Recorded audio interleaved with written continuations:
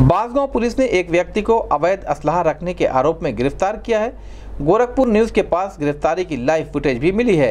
गिरफ़्तार युवक की पहचान इंद्रजीत यादव, पुत्र रामचंद्र यादव, निवासी देवनाथपुर थाना बांसगांव जनपद गोरखपुर के रूप में हुई है।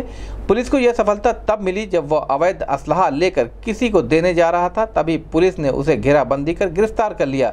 गिरफ़्तार अभियुक्त के पास से पुलिस ने 315 बोर का एक तमंचा 315 बोर का पाँच ज़िंदा कारतूस बरामद किया।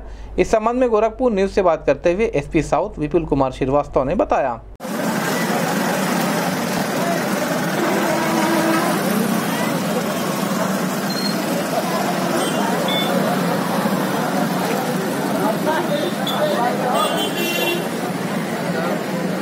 हाँ बुलेट उठाओ क्या नाम है तुम्हारा? इंद्रजीत पिताजी का नाम? रामचंद्र। रामचंद्र सिंह कहाँ कराने वाले हैं? देवना। ये कट्टा कहाँ पाए थे असला?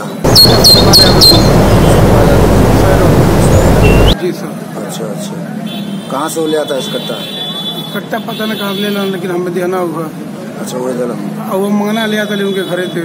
अच्छा अच्छा। उसके साथ और कौन चलता है? अच्छा अच्छा।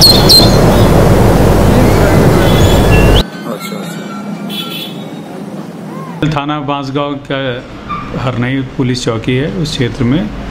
इस काली मंदिर के पास एक अपराधी पकड़ा गया, जो हिस्ट्री सीटर है थाने का।